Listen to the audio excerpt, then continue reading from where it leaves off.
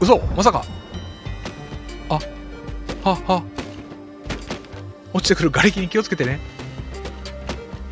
見本見とけって。そういうこと。ほそう。そうそうさあさ。あ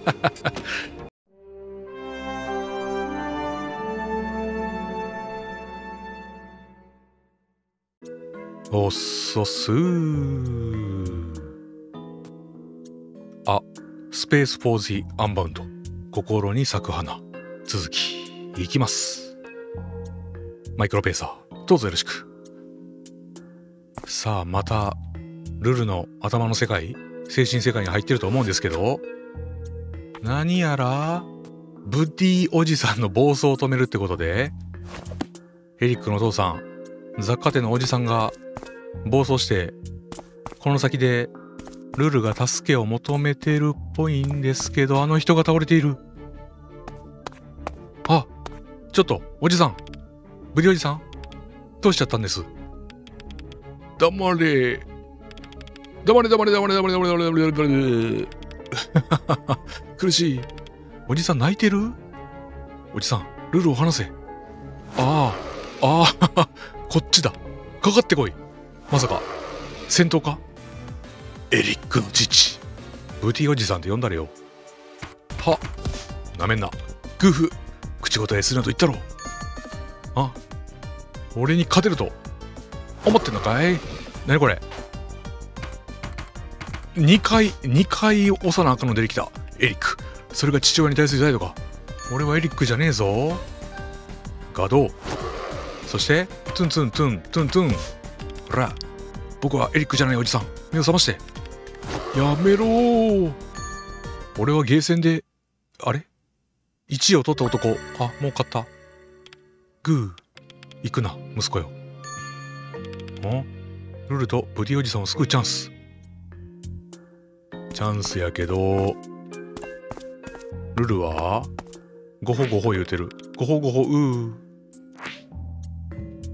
こっちは初めてここまで来たけど何もでけん。おじさんちょっと頭ん中覗かしてもらうぜ。なんかちょっと珍しく距離取って本開いたな。こんにちは。おじさん？エリックどこにいるんだ？あシャッター。あれ？調べる？取れた。お。春期エリック一体何時だと思ってる？親父には関係ねえだろ。今からダッチと遊びに行くんだよ。まだあの不良どもとつるんでるのか。街中でバイクを乗り回して人様に迷惑をかけて。ダチのこと悪く言うなよ。あいつらは害悪でしかないエリック。害悪って 俺の人生に口足すんじゃねえ。とにかく俺は出かけるぜ。この家をホテルとでも思ってるのか。ああ戻ってこいエリック。まだ話は終わってないぞ。あおじさん急に入ってきた。元気だったやんおじさん。エリックどこにいるんだ？ああごめん喋りかけたら。よくないね。あおじさんの違う服。子供の頃の？あまだちょっと髪の毛ある感じ？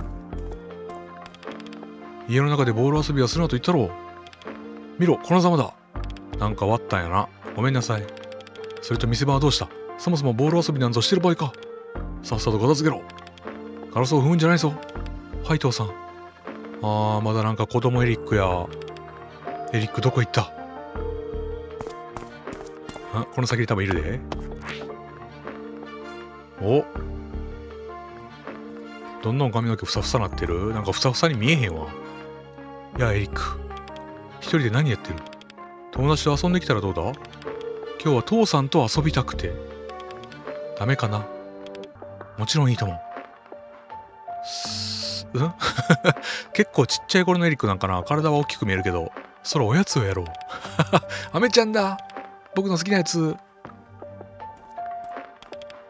なんか中学生小学生高学年ぐらいに見えたけどさエリックのデカさが。エリックどこにいる？まさか。ああそんな。エリック息子よ。頼む。どこにいるんだ？お前を失いたくないんだ。戻ってきてくれ。父さんが悪かった。本当にすまない。あ、ラヤ。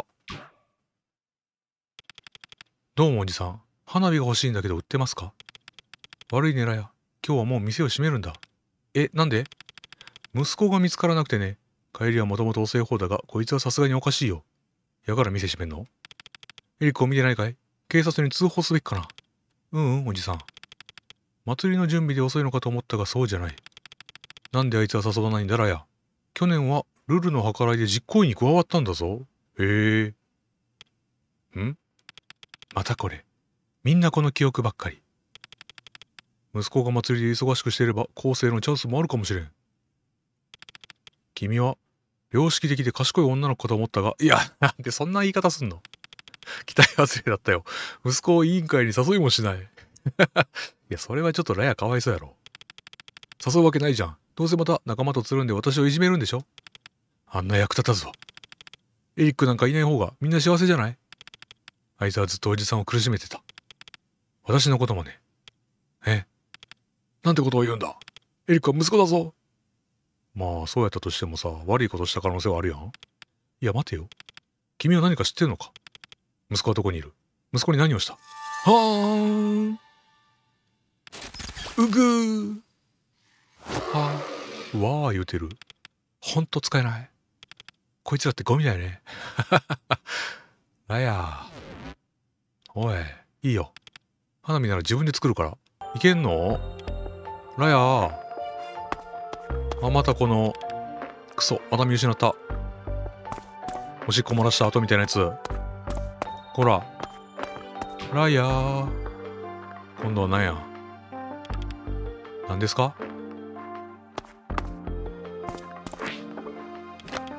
生姜飴。ルルが前に探してたっけ？あー、なんかそんなん言ってたような気はする。ラヤ。ラヤは何やってもルルと比べられて。ソリダーの力を使って。ラヤはどこまで人の心に入り込めるんだ？今まで何人よ？うーうーわーぐっすん。私の息子は愛する一人息子が息子はどこだ？エリックはどこへ行ったんだ？私は悪い父親だうー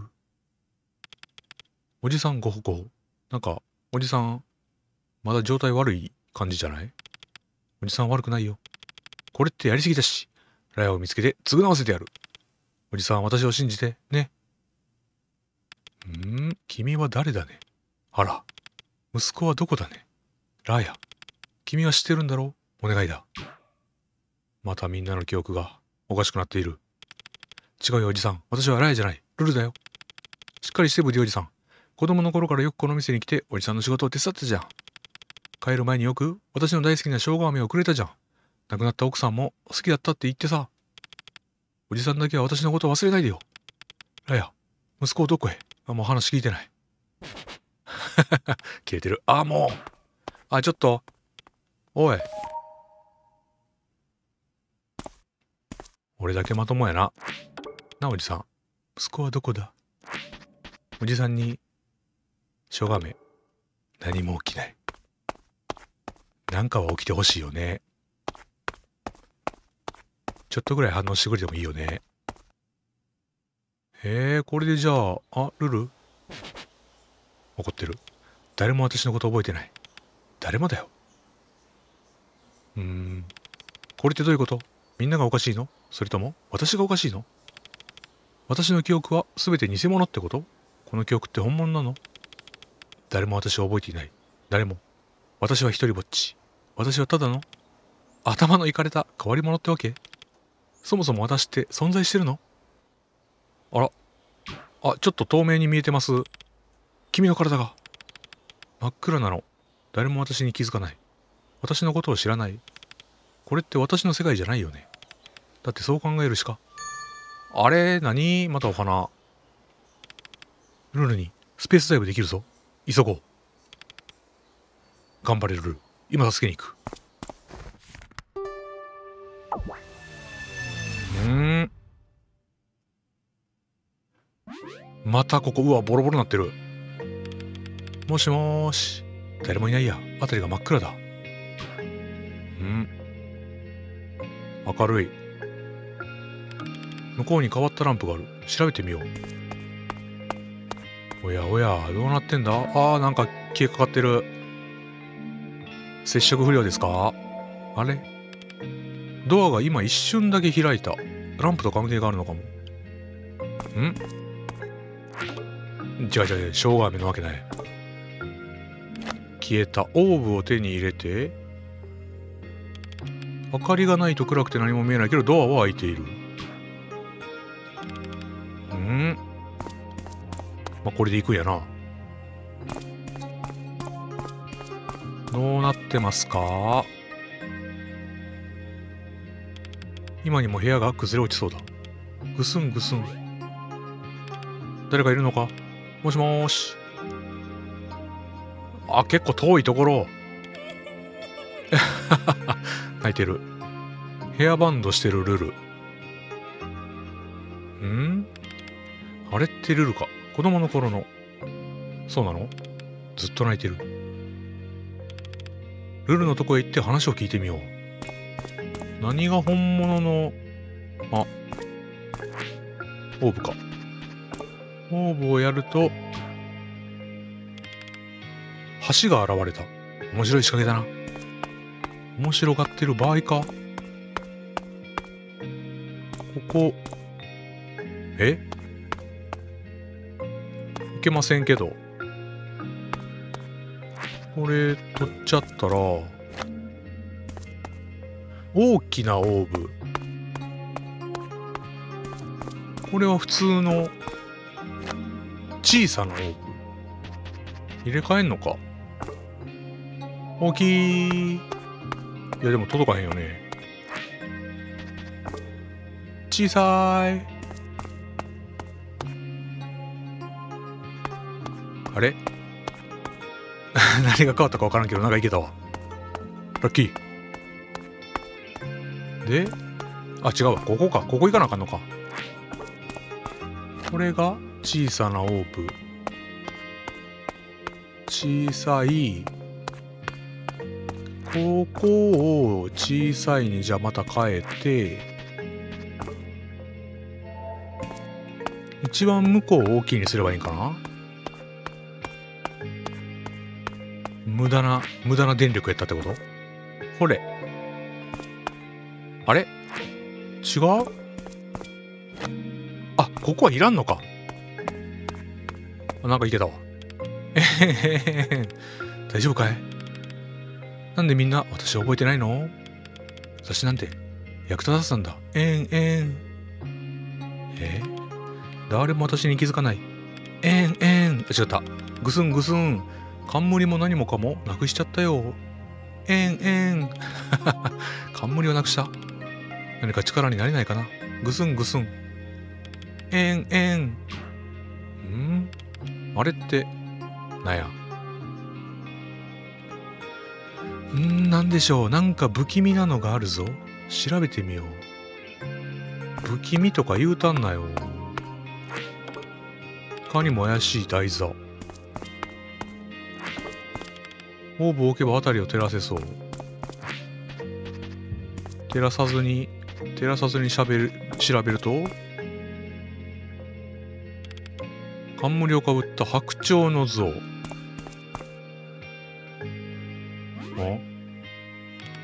何か言葉が彫ってある暗くて見えないぞとか言うの読めんのかいんおみ、民、なき女王は無力なり。ここは女王の宝物庫。どの宝物にも、おみ、民との大切な記憶が宿っている。じシンタに？オ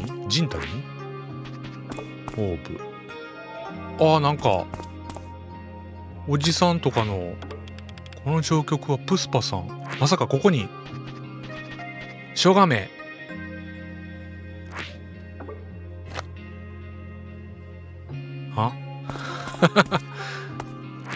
これは光を当てたら彫刻が変化して壁が崩れた。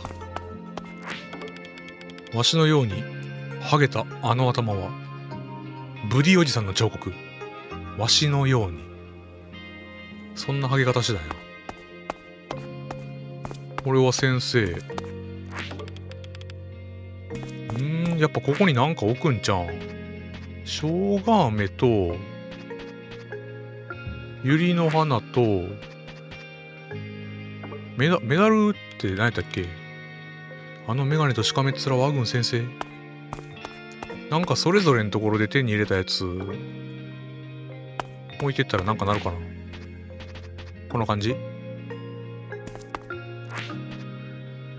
おもおもちゃ。犬のおもちゃ。え？違うのか？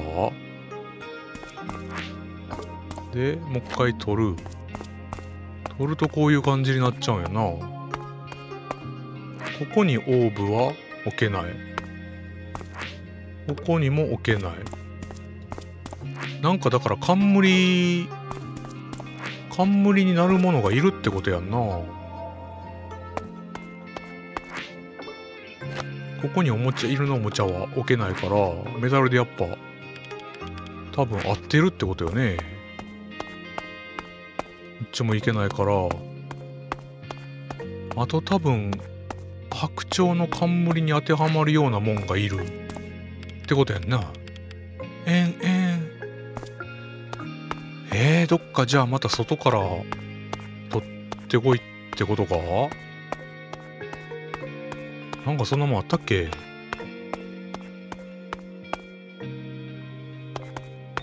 あとは帰れるよな。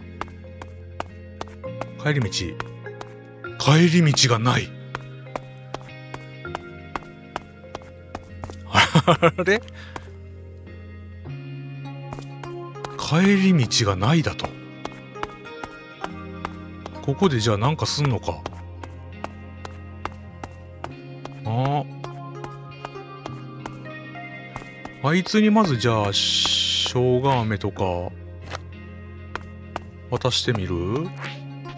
生姜飴だよ。犬のおもちゃだよ。なんもならんなえー、えー、あ、違うな。なんか間違ってるな、俺、これな。生姜飴こっちやな。こっちが百合の花やな。この彫刻は。ああ、もういけたやん、もう。置き間違ってただけでしたわ。冠が現れた。女王の冠。やったぜ。持ち主に返してやろう。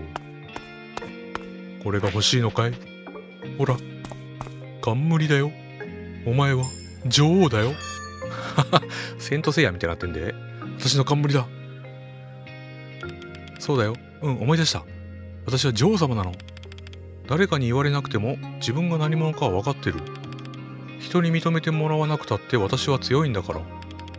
私はルル。私は本物。たとえみんなが忘れちゃっても。けどどうして？なんで彼女はこんなことするの？私にもみんなにも。どうして彼女？ラヤはこんなこと。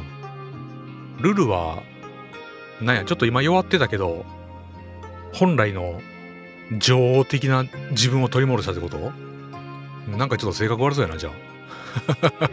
はーん。女王気質なのね、ルルは。生まれつき。危うくそれをなくすとこやったんね。なんか、なんかもやっとしてるけど、オッケーよね。おとぎ話の続き。南の愛姫様は魔法の杖を振るって奇跡を起こし、白鳥のひなに冠を授けました。そういえばお姫様二人いた？ってことはルルとラヤがそういうこと？あ、ニルマラが来たぞ。あの子供やんな。んすっと向こう行った。ダメだよせ。そっち行くな。おーい。なんかされるぞまた。は、ああ、来た。ここは通さんぞ。えお前は？ボスケなのか？夢の中に出てきた。どうしてここに？それに、その姿は？ふん。本当に何も分かっとらんか。現実と虚構の区別さえつかんのか。そんなお叱り受けます？どういう意味だよ？時期にわかる。そうそう。時期に。言うてるやん。なぞなぞ国家はうんざりだ答えろ何がどうなってんだよニールマラがエリックの時みたいにルルを怪物に変えちゃうのか？その時が来ました世界は滅びこの星は粉々に砕け散るのです。ああおとぎ話の話？それは僕が見つけた絵本の一節一節だ。予言だよ。我は黙示録の使となりこの世界は滅びることで救われん。わけわかんないし他に方法はないのだ。ニルマラは何者なんだ？どうして僕の夢に出てくるんだ？どうして彼女はあ？はあ？よせ。今はその質問に答えてやれん。急がねばならん。去るかよい。忙しいだけなのね。待ってくれ。はあ暇やったら答えてくれんのね。ボスケにニルマラに何が何だか。そしてルルはどうなった。レアなんでこんなことするの？偽物のくせして。ううん？おいルルよせ。やめてくれ。はあああああその感じ。ラヤあんたは偽物なの？きえー。これは戦うなあかんやつ？あ飛んでった。ルル。クソルルが消えた。どこ行ったんだ？助けないと。ルルはラヤって言ってた。ラヤと対決する気か？え？あねえ頭。橋へ行きましょう。誰？提督？あれ？提督？どうなってんの？確かエリックのバイクで。ねえ頭。橋へ行きましょう。ラヤが待ってるわ。ラヤが待ってる？え？提督？ラヤが待ってるわとも橋へ行きましょう。あれなんか操られてる？クソ提督までどうなってんだ？ラヤが待ってるわとも橋へ行きましょう。ああもうゲームのもう NPC みたいになってる。分かったよ。なら橋行こう。そっちなのね。案内はしてくれる。おーい。提督走ってどっちやったっけ？ここやったっけ？止まった。こっちでした。へえうん。エリックん時は俺エリック倒した後ラヤが出てきてラヤがエリックを消したのよな確か。提督じじ提督遅えぞ。こっちで合ってる？違った。うんこっちやった。待ってなんか今。今一瞬なんかハテナ照れたよ。お？かかしか。行きましょう。橋。よしよしよしよし。君って初めて見るよね。ディオ。前なんかディオって俺名前つけへんかったっけどっかで。気のせいか。なんか猫いっぱいいる。この場所来んの俺初めてか？初めて。チェモ。モフモフでお前は？初めて。ジャスケ。絶対覚えられん。ここは預言者がいそうな雰囲気のなんかセット。人前でなんて歌えないよ。ん？あゲット。こっちで合ってる？提督。橋やな。この場所今まででも来たことなかったから多分通れなかった場所よね。お？雰囲気が。うん？あラヤ。久しぶりやけど何してたの？どんな対応してくんやろ？あとま来たんだ呼ばれたんですよお前が読んだんじゃないの？ああらルルさん、あんたね。何なの？ルル。ルル？全部あんたのせいだ。あんたがやったんだ。あんたがこの町をぶっ壊した。私をぶっ壊した。おかしいと思ったんだ。このへんてこなお祭りは全部嘘だったんだ。お祭りだけじゃない。この全てが。学校もこの町もそこに住んでる人たちも全部。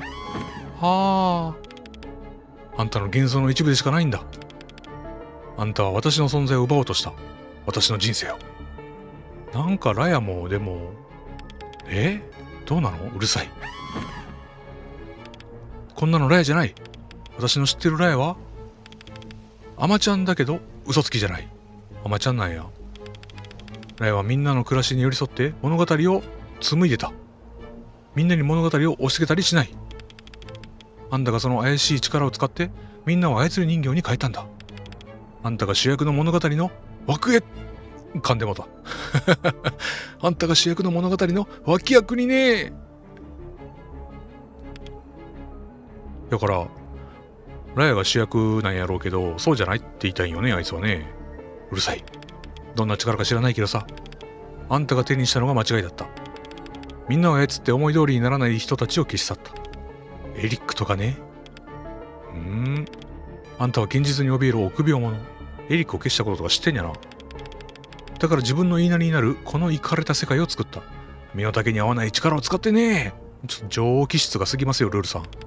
あんたはイかれてる。善人ずらした強欲な魔女だよ。ルルさんもちょっと強欲な感じ出てますけど。うるさい。は、は、食え。は、やめろ。はあ。あら、工夫。う、ふふ。え？ふふ？笑ってる？うふふふ？怖っ。ひ、引いてるよ、俺。ラヤ。どうしたの？怖い顔しちゃって。いや、そろそろやろ。ずっと君を探したんだ。はあ？なら見つかったじゃん。私はここだよ。何か用？答えだよ。真実を知りたい。全部聞けるかな？エリックはどうなったんだ？エリックは消えたよ。あっさり。消えた？消えたってなんだよ。教えてくれらや。あの時君は？フリーザみたいなこと。エリックのことなんてどうでもよくない？なんであんな奴のこと気にかけるわけ？あいつは私たちを傷つけた。みんなを。あいつはただの厄介者なの。虫キラなの。うーん、けど。虫キラであることは認めた上で、けど。もういい。エリックの話はしたくない。じゃあ、ルルの話。学校もみんなもお祭りの準備も君がこの町の全てを操ってるのか？なんでだよ、ラヤ。なんで力をこんな風に使うんだよ。そうするしかないの、頭。二人の夢のためなの。だからこうして授かった力を二人の夢を叶えるために使ったの。あれ？なんか映画館だったりとか、タスクとしてなんかいっぱい書いてたやつ？仕方がなかったの。信じて。ん？前にも話したろ？この力を使いすぎるとラヤの体は。ああ、それならご心配なく。ふふ。だってこれだけやった後でも、どんどん力が湧いてくるんだ。まるで無敵になったみたい。ラヤなんかでもあれかな未来で、俺自身が死んだりしてんのかな そのためこの騒ぎは君の仕業なのか私がなんで私がロカシを滅ぼすわけ？私はこの街が好き。街のみんなが。言ったでしょ？反逆者がいるの。空に力を感じたの。ああ、空割れてたね、そういえば。そいつが私の計画をぶっ壊してる。うん？この祭りはどうなってる？やることリストは覚えてる？はい。そこそこ埋まってきましたけど。パーティーを開くんでしょ？もう書いてたね。だったらこれ以上のパーティーはなくない？街のみんなと一緒にお祝いするの？私は君と楽しみたいだけなの、アトマ。はアトマ、もっと私を信じてよ。いや、信じたいけど、ごめんね、こんなに弱い私で。もう時折そうやって弱い感じ出してくるのせこいよ。二人の夢を叶えるには障害が多すぎるように思えたの。それにこの力があっても何もかも思い通りになるわけじゃない。けど修正してみせる。邪魔者をすべて取り除いたら二人でまた一緒に過ごそうよやることリストの項目を全部誰にも邪魔されずにこなそうよあやえー、僕は君を疑ったことなんてないし。君が謝る必要もない。頼むからこんなことはもうやめろよ。世界をモテモテぶり回すのはやめて一緒にやることリストをこなせばいいだろう。アトマ私が嫌い？うーん普通。まさか違うよ。普通。いやーなんか入ってきた。まだ生きてますさ思い出して。世界は不完全だからこそ完璧なの。それが真実なの。なんか語り出してるで。それが現実なの。あ最後になんか偉そうなこと言ってたでルルさん。ルル。なんでこうなっちゃったんだろう。ラヤ。私はただ。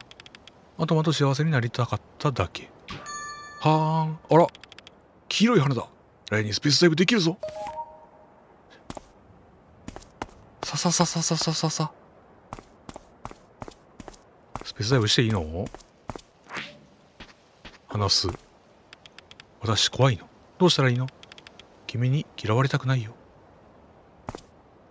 そう言われましても普通普通やで普通はんその魔法って何してるの？なんで君が？ああれ？ラヤ？と、とら、取られた？この本って何なの？よく開いてたけど。あ？この本は？ラヤ一体？この本はアトマ。ダメ。ダメダメダメ。よせ。クリリンにやったやつ。君さ。あの本で何してたわけ？たまに君って呼んでくんのやめてくれへん？アトマって呼んでるやん、普段。あ？どんなに危険かわからない？誰からもらったの？これアトマって呼ぶときと君って呼ぶときでなんかあれか？二重人格なんか？どうして私に使おうとしたの？ん？なんか花咲いたから使ってみようかなって思っただけです。それは僕が。うーん、めんどくせえな。レイはあの本知ってるのか？ああ、もう、あの本は邪悪なの？災いなの？え？破滅と破壊しかもたらさないの？けどどういう本なんだ？君は知らなくていい。あれは空の上にいる反逆者のものなの？あなたが持ってたらいけないの？なんかいろいろ知っとんな、おい。信じられない。みんなあの本を使って寄ってたかって？なんでこうなるの？すべてが完璧にいくよう必死で頑張ったのに。それなのに花火すら手に入らない。ええ花火、いる？けどもういいの？あ、君には子供騙しのお遊びじゃない。本物の花火を見せてあげるよ。え？キウイみたいにあれか？いっぱいみんなを、あ、ベジータがやるやつ？ん。何？お？どうなんの？なんか握りつぶして？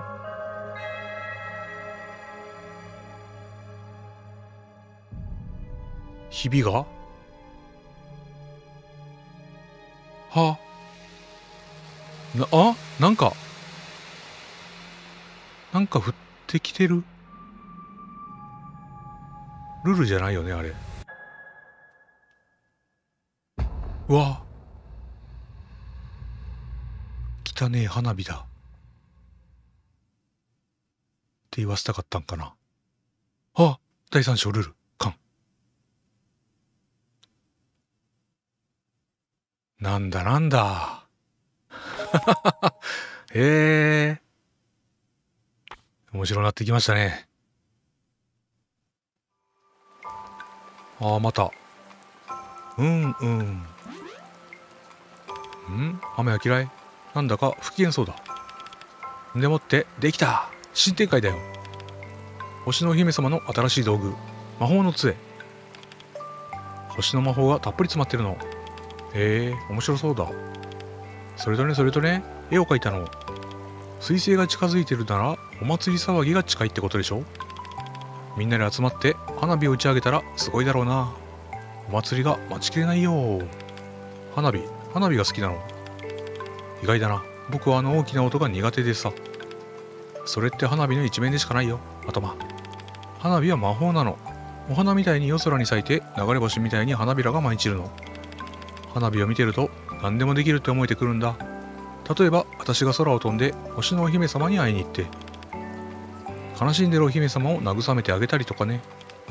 うん。なら決まったな。何が？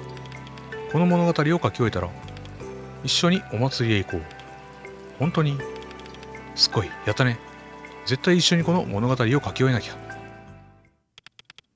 あ？ちょっとリーダーの意味分かってんの？化け物。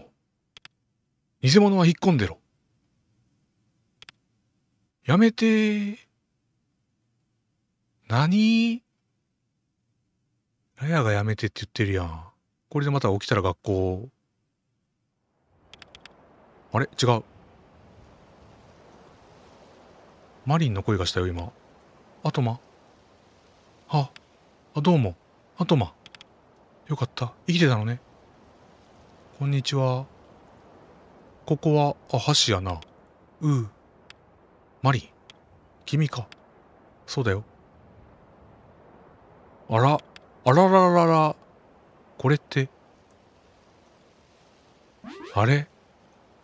ええー、またあの教室で目覚めるかと思ったら、そうですね、雷も鳴っている。マリン、ライはどこへ？あとも何言ってるの？あれ？ライの力は僕の理解を超えている。また怪我人が出る前にライを止めなきゃ。あれだけの力があれば、ライはこの街を丸ごと破壊しかねない。え？ー、え？ー、えー、くそ。ライが困ってるのに僕はまるでバカみたいだ。こんなに手が震えてる。僕はライが怖いんだ。それって仕方ないよ。ライはさっきあなたに隕石をぶつけたの。なんでマリンがそれを？え？見てたんだ。うん。いやいやいやいや。ライはずっと暴れ回ってる。けど考えがあるの。だから心配しないで。でも、まずはここを出なきゃ。危険だわ。どういうこと？いや、危険っていうか、ここを出なきゃってどういうこと？あぶあだだ。家具。家具だ。空から降ってきてる。椅子とかテーブルとか。あのね、頭。私にも家具くらいわかる。いやいやいやいやいや。それに今更何に驚くっていうの？いや、驚くでしょ。え？空から家具が降ってくるんだぞ。普通驚くだろ。一理あるわね。真面目すぎてちょっと話噛めわへんなこいつ。とにかくこっから逃げるわよ。頭の上に注意しながら私の基地へ向かいましょう。キッチこの先にあるの。急いで。降ってくる机に潰されたくはないでしょ。ごもっとも。詳しくは基地で話しましょう。基地って。基地って何よ？あ、本開けない。魔法の本がなくなってる。意外とのんびりですね、あなた。基地までついてきて。基地ってな。小学生が言うやつ。あ、え、お？俺？あれ？おい、待て、そっちは危ないぞ。あれ、俺じゃん。言っちゃった。今のって誰だ？うちの制服着てたけど、知ってる人？うん。とにかく突っ立ってても仕方ないわ。私の基地急ぎましょう。あの小さい門の向こうよ。よし、わかった。あ、急に走った。ついてきて。あ、待って。嘘まさか。あ、は、は。落ちてくる瓦礫に気をつけてね。見本見とけって。そういうこと。ほ。そうそうそう、さあ、さあ。大丈夫？多分、問題ない。すいません。え、なんで？確かでっかい家具が頭に当たって今頃死んでたはずなのに少なくとも怪我を負ってもいいのに。けどほらマリーなんともない。傷一つないだろ？それって便利ね。いや怖いって。あーなんかだから俺らはやっぱ違う世界にいる人間ってこと？あのね頭ここで一日中空から落ちてくる家具にぶん殴られているわけにはいかないの。ラヤを救うことだけを考えて。それと気をつけてね。さっきは運が良かったけど今度もそうとは限らないでしょ。言えてる。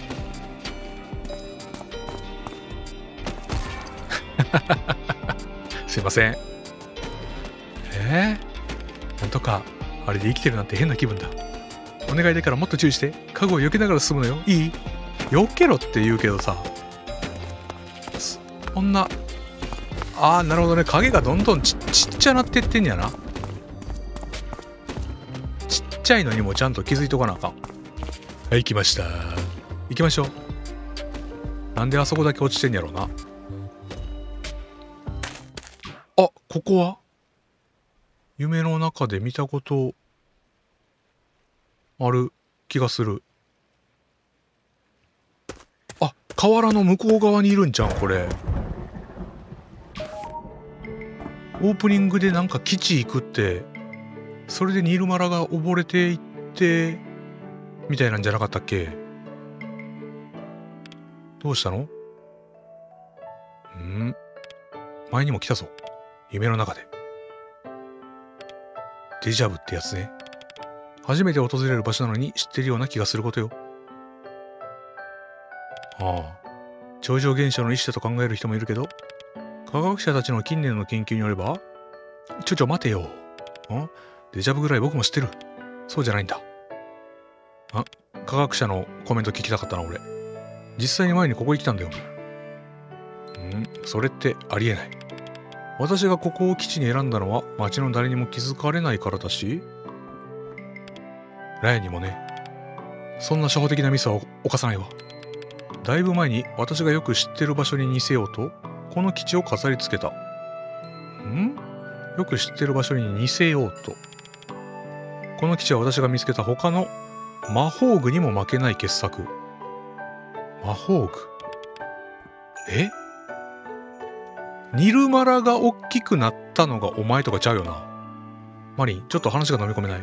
順を追って話してくれるか。ご、ごめんなさい。あれ？こういった説明って苦手なの。ああ、急に今日取った。きっと今って質問だらけよね。だったら聞いて遠慮なく。んいろいろあるけど。ラヤとは顔見知りなの？ラヤは子供の頃の親友だった。けどあなたが現れて全てが変わった。俺？ん？なんで僕が？何も覚えてないの？僕は思い出すのも辛いけど今ここで自分の失敗についてさめざめ告白する気はないわ。自分の失敗。ラヤと私の間に起きたことは重要じゃない。え？あなたは今ラヤと一番親しい人物なの？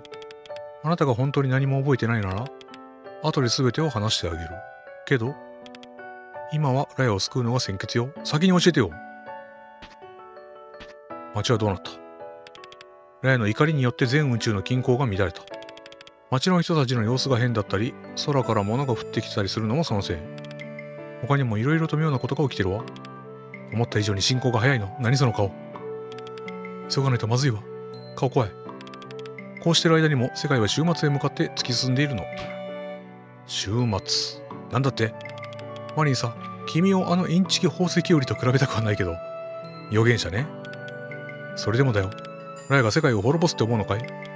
それってちょっとぶっ飛びすぎよね。うーん。あなたがどう思うと勝手だけど、これまで見たことを考えたら、やっぱり同じ結論にたどり着くんじゃない？まあね、人間の脳ってこうした規模の事象を理解できるようには作られてないのね。そういう語り方やめて。ひとまず私には全ての結末がわかる気がするとだけ言っとくわ。すごいんですね、あなた。悲惨なことになるとだけね。世界が滅びるのも一大事だけど、私はラヤをまた失いたくないの。またって言ってるなぁ。ん？ラヤは今どこに？断言はできないけど、青くてまばゆい光が空に見えた。あったね。あれってロカ港の方だった。ラヤはきっとそこよ。力を使って何かする気なんだわ。だったらこっちも計画を練らなきゃ。何を知ってんのよ、マリンさん。見覚えあるんです、ここ。私の基地。言っても昔よく遊んだ場所ってだけなんだけどね。一人になりたい時はよくここへ来てたわ。ライと会ったのもここだった。思い出が詰まってるの。うーん。ここにいると確かに記憶の重みみたいなものを感じるよ。見覚えのある場所だけど僕が夢の中で見たのとは少し違う。夢？こういった場所で遊んでるものすごく長くてリアルな夢を見たんだ。僕はニルマラって子と一緒で何時間も一緒に物語を書くんだけどニルマラについてなんか知らんか？その夢が突然終わっちゃってさ。とても辛い終わり方でね。溺れたのよね。夢には何かしら意味があるの。やっぱりだわ。あなたは本当にアトマなのね。どういうこと？今言えるのはそれだけ。なら君は？ありえない。まさか君が？その話は後にしましょう。過去の罪を悔やんだって何も生まれない。私はそれより今この騒ぎを解決するために力を尽くしたいわ。あれマリンがニールマラ説やっぱある？そしたら仕事にかかりましょうか。いやマリンじゃないか。ラヤか。ん？ラヤを止められると言ったろ？何か考えが？そうよ。あ私の知ってる魔法具の中で特に強力なものが2つあるわ。一つはあなたもよく知ってる魔法の赤本。なんでマリンは知ってるの？未知の摂理に導かれしとても神秘的な魔法具よ。ページが一部抜けていて少なくとも私には全く中身が読めない。だからあなたに託した。は？は？教室の前でぶつかった時？ああん時？わざとやったな。当然でしょ？あなたがどう使うか見たかったの。それにスペースダイブにも慣れたみたいね。実際目を見張らされてるわ。ええ。そこで思ったの。ラヤにスペースダイブしたら止められるかもって。ラヤを正気に戻せればこの変異は消えてなくなるんじゃない？ええ。ヘッドサマリン水を差すようで悪いんだけどもう試したんだ。ラヤのスペースダイブを。いやまあそこもそこも話したいことやけどなんかもう他にもいっぱい聞きたいことがあってさ。それで？それで？ラヤに本を奪われた。だから今は持ってないんだよ。なんですって？信じられない。うかつにも程があるわ。ごめん。はあ。そしたら困ったな。どうしよう。もう何もわからないよ。一気にへこんだ。えしっかりしてマリン。深呼吸するの。今パニック、今パニックっても何も解決しない。冷静にならなきゃ。ああ。おもう一個あるって言ったよね。魔法具。一か八かの？ん事前作なら考えてあるけど。強力な魔法具が2つあるって言ったでしょ？うん。事前作っていうのはそのことよ。はい。何でしょう？なんだこれ？枯れ草？あ魔法の杖。あら思い出した。これを取りに行ってニルマラを助けようとした時にうんうん使って。ん？そうよ。南の星のお姫様の魔法の杖。魔法の赤本は他人の心に飛び込めるけどその魔法の杖は時空に穴を開けてその場所の記憶に飛び込める。は？スペースダイブに似てるけど人じゃなくて場所ってのがポイント。ラヤの魔法のせいで世界の均衡が乱れ宇宙の基盤にところどころ歪みが生じているわ。杖の力があればきっと時空に穴を開けられる。あの本も使えるあなたならきっとその杖も使えるはずよ。私がやっても無反応だったけどね。そうなんや。ついに現実の世界でもこの杖を手にするなんて妙な感じだ。こっちが現実なのかい？ほんまに。それで使い方は。私の研究によれば時空の裂け目に近づくと杖が反応する。やってみて。杖を頭の上に掲げるの。裂け目の場所を示してくれるはずよ。はあ。ズズザザーって言ってるな今。杖を使ってみて。ここにも裂け目が見つかるかもしれない。多分。多分ってなんだよ。気にしないで。いいからやって。この今なんかザザーってなってちょっと緑っぽくなってるこの状態が使える状態ってことかな。魔法の杖を使うには四角を襲う。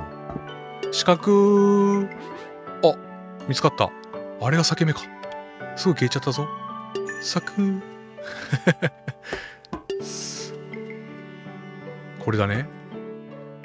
四角。で時空の先目を見つけたのね。さすがだアトマ。自分の目が信じられない。お前にも見えてんの？で次は？次は裂け目に飛び込むの。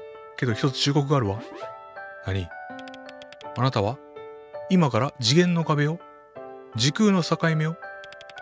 ぶっつけ本番で突き抜けようとしてるわけ。確かに。万が一過去に干渉しすぎれば何が起きるか想像もつかない。過去に行くの？未来じゃなくて？もう過去言うてもてるやん。めっちゃ詳しいあんまり少なくとも時空の連続性を断ち切ってしまうことは確かよ。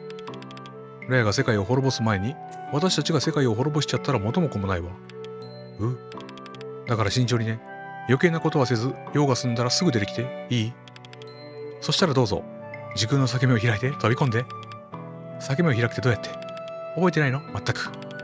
裂け目を開くには杖を手に持って星のお姫様の魔法のダンスを踊るのよ。なんすかそれ。なんだって？ダンスなんて踊ったことないけど。心配ないわ。喧嘩と同じ。今回はそれが魔法ってだけ。喧嘩と同じ。あなんか。あ簡単でしょ私の真似をして。なんか五芒星書いてる。わかったよ。ツンツンツンツン。スススススシューティングスター。ははははは。はははは。開いた。マジで開いたぞ。たり前じゃない。言ったでしょ？私が作ったの。その杖の力は知ってるわ。作った。それってどういう？グズグズしてる暇はないわ。本能に従って飛び込むのよ。何か役に立つものはないか。別の次元を調べてきて。ラヤのためにもね。あら。えー、ちょっと。オープニングぐらいの時にさニルマラの部屋に魔法の杖取りに行って親父がなんかこらみたいな言うてたけどあの時に子供の名前って叫んでたっけ？グズグズしてる暇はないわ。本能に従って飛び込むのよ。別の次元に何か手がかりがあるかもしれない。例のためよ。よし。じゃあ何やら過去の世界に行く感じになったっぽいんですけど。この続きまた次回プレイしていきたいと思います。まさかこのメガネがそんな重要人物やとは思いませんでしたそれではまたよろしくどうぞ。